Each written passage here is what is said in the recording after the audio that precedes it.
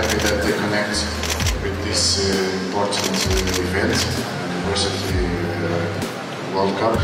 And for promote football, we need private companies like like Kelme that they allow so many kids to follow their dreams.